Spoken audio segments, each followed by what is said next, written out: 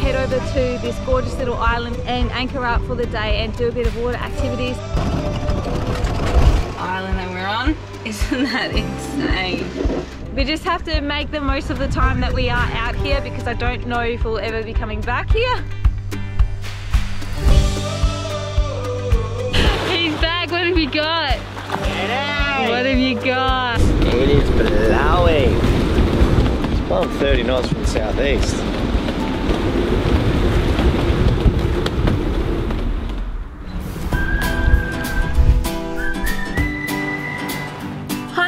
Hi, that's Yosh, and this is A Sailor in the Making Tallulah May.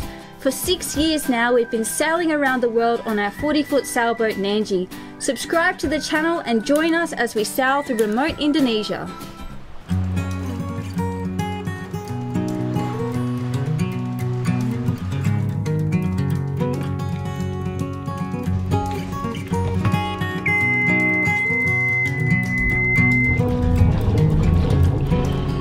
Welcome to paradise. It's day number three of being out at a super remote atoll in Indonesia. There is not many people know about this place. It is pretty hard to get to and uh, we're the only people here. So we've got this whole place to ourselves. It's absolutely incredible out here. The fish and the marine life is insane, um, especially like the reef and the corals very healthy looking so it's just really nice to be here and experience this. We are really exposed where we are and last night we had quite a lot of wind kick up. We were rocking and rolling and it is a pretty nerve-wracking place to be um, especially when bad weather comes through because like I said we are really exposed and we're completely surrounded by reef as well. So to get out of here if we had a situation at night time where we were dragging anchor or something and we just wanted to leave it would be a very stressful time especially trying to navigate through the reef and out again when we have bad weather. So going to um, head over to this gorgeous little island which is part of this atoll and anchor up for the day and just uh, do a bit of water activities and things like that. We just have to make the most of the time that we are out here because I don't know if we'll ever be coming back here.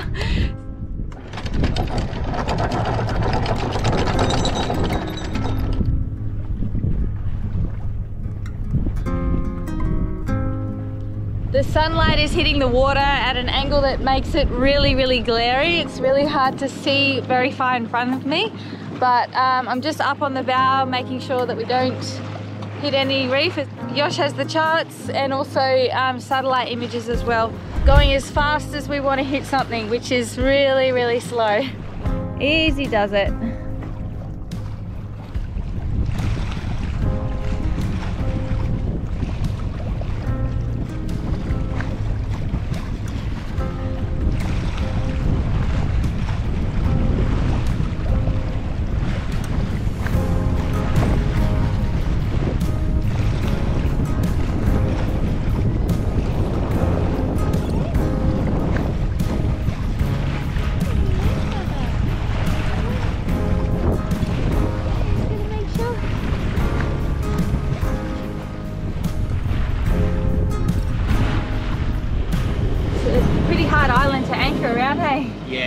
Deep water out of the side and then it shoals up to this bit of a sandy key, but it's reef at the back.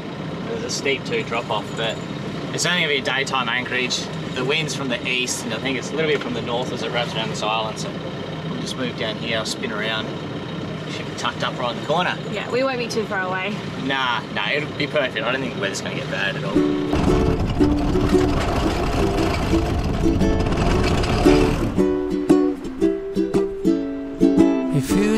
Through the scintillating door, you're gonna see me there, just sitting on my. Alright, so this is the Anchorage island that we're on. Isn't that insane? That's where we are. So amazing.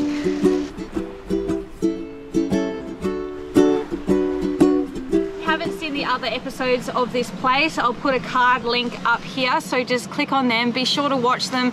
It's once in a lifetime kind of opportunity to come here and we want to bring you guys along as well for the whole journey. So please enjoy those videos as well.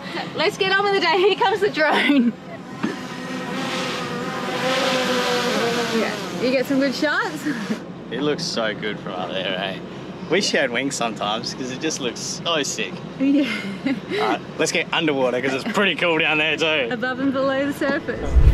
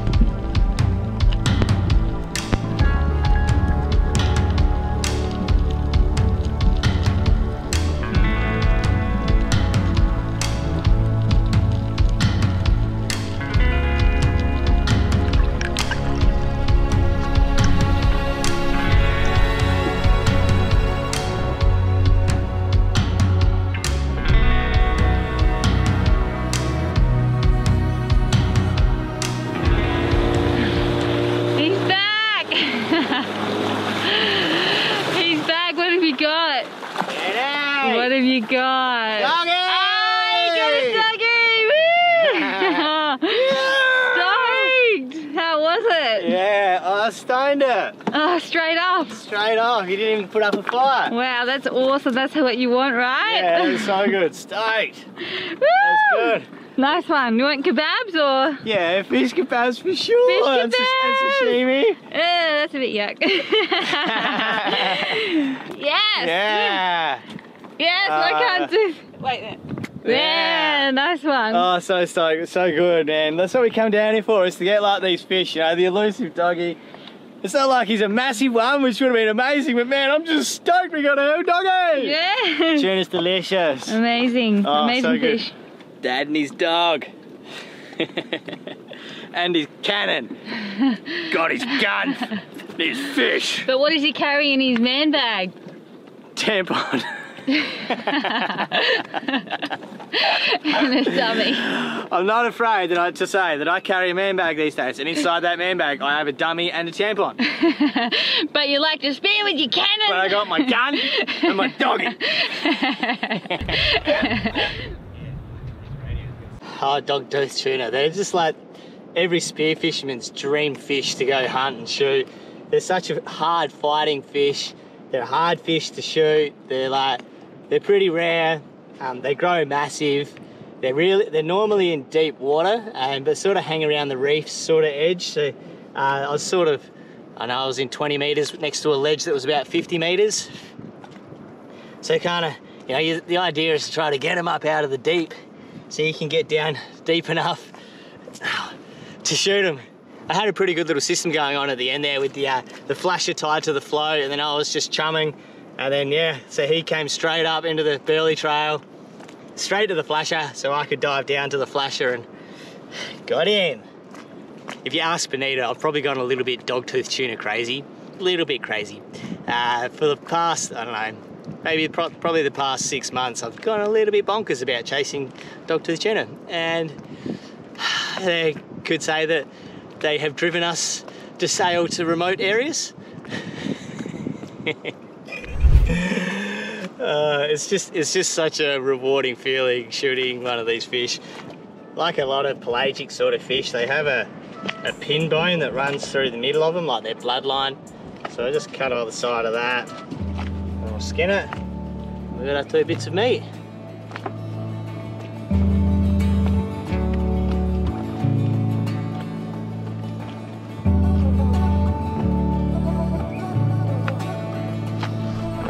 All right, our doggy is clean.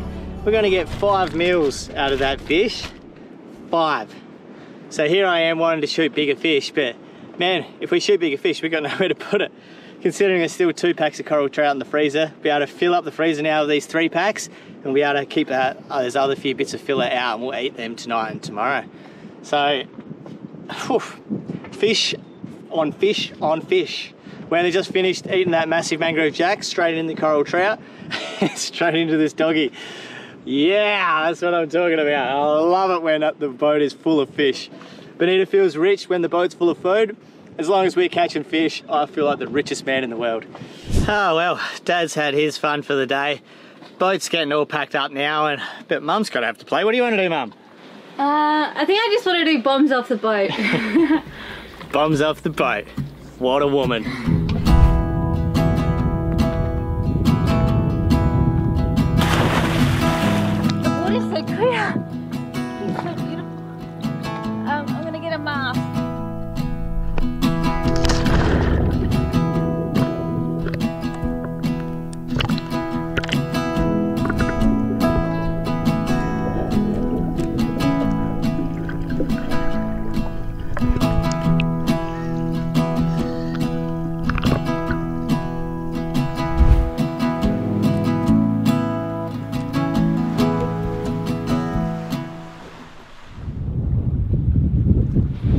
Night we went to bed to a really glassy beautiful evening and as the night progressed it just started the wind started to pick up and get windier and windier and this morning the wind is absolutely howling from the southeast so we are rocking and rolling and uh, the sky looks absolutely miserable so despite the weather, uh, we still can have an amazing time. Um, so let's just get on with the day. Morning, Yash. It looks like the wind has swung more south and uh, it has backed off a little bit, so that's a good sign. But hopefully, this just all passes over us and we can get on with our day.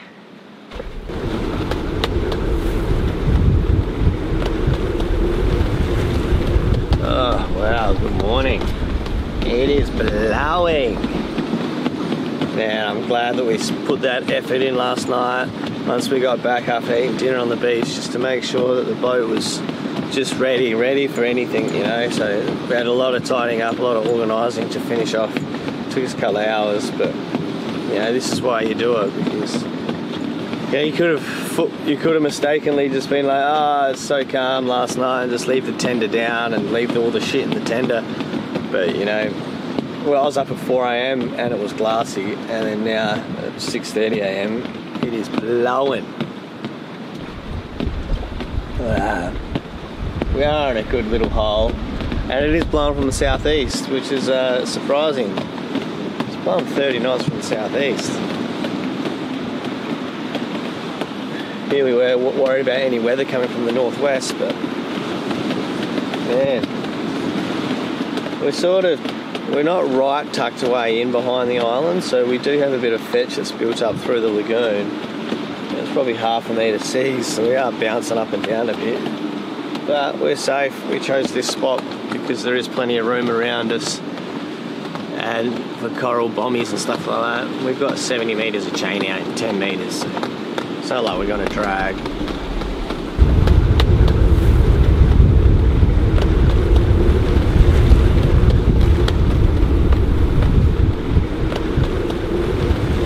Oh, we saw a bit of sunshine through the haze, so we thought we'd come out and check on the day's proceedings. It's now 9am, hey little Lulabug, but uh, the sun is shining currently, and it's really bloody bright. But we got a couple of big more squillards coming, but it is nice and cut, cleared pretty well everywhere else. So I think this might be the last of it this morning. Then we'll be able to go exploring once again. This place is amazing. Just, just putting it out there. This joint is amazing. Oh yeah, round two, baby.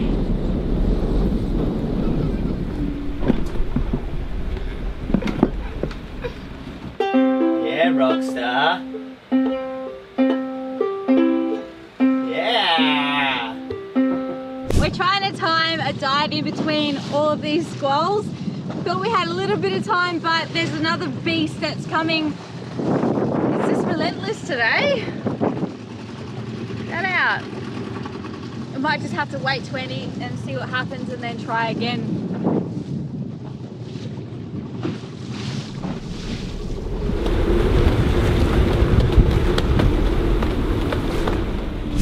All right, well, what a relentless morning.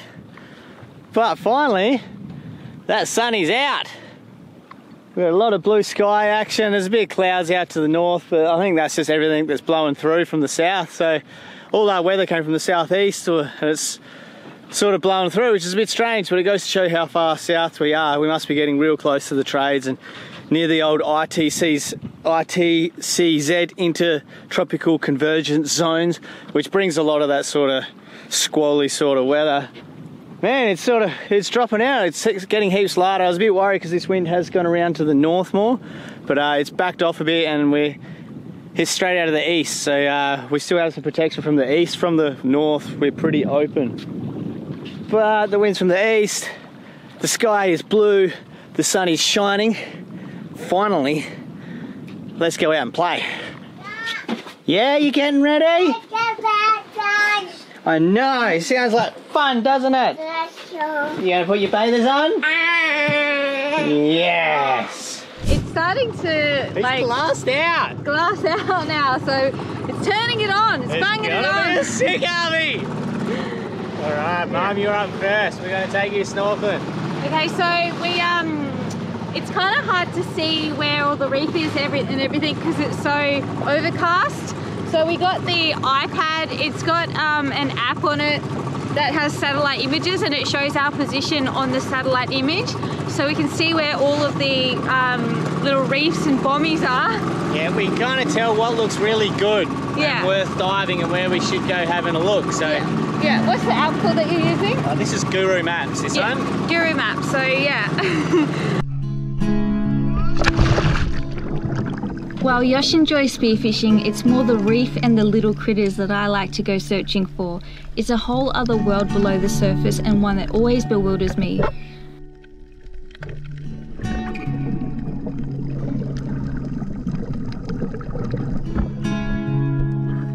The wind had stirred up the lagoon, making the water a little bit murky, but the reef looked great and there was an abundance of marine life to see. Especially like finding the giant clams as they're often eaten by the locals and therefore pr- pretty rare to find. So um, this one's pretty big, but I, I want to find a bigger one one day.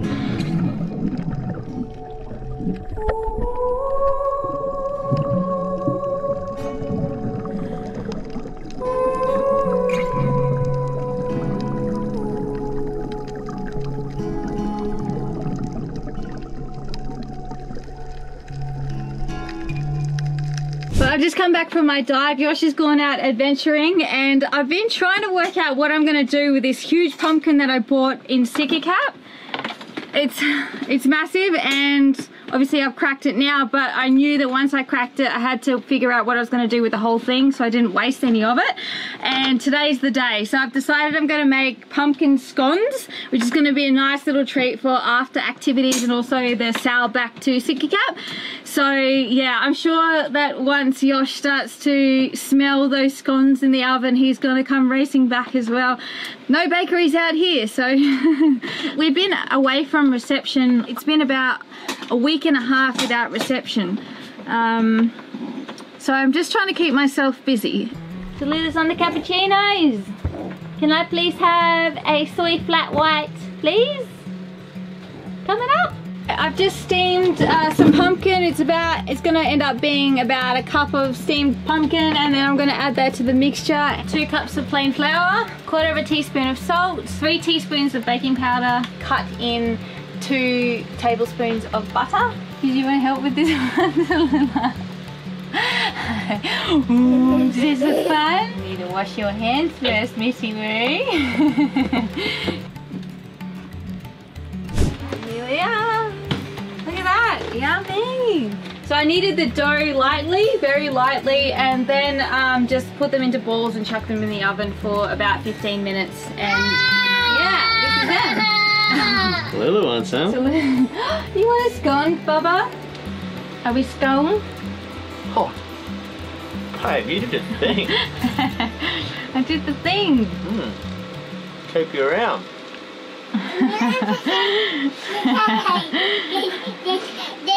What do you think? Pretty good?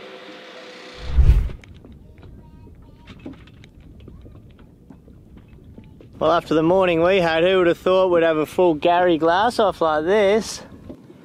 Man, it's just stunning again this evening.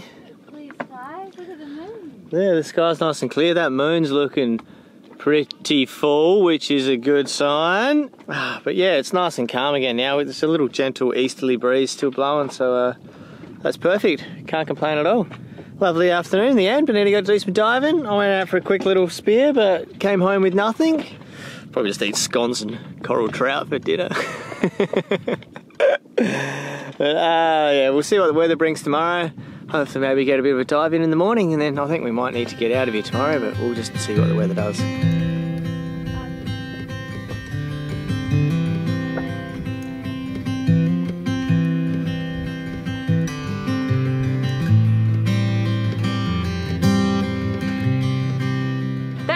Another episode, guys. We hope you enjoyed this one. What an epic place. Um, a huge thank you to our Patreons for making these videos possible. Our newest Patreons are Andrew and Roger. Cheers, legends. If you'd like to join them as well, there's a link down below, and um, you can help support this channel for less than $3 a month. So, pretty cool, and it helps keep us filming and floating. See you in the next one. If you haven't already, subscribe to the channel.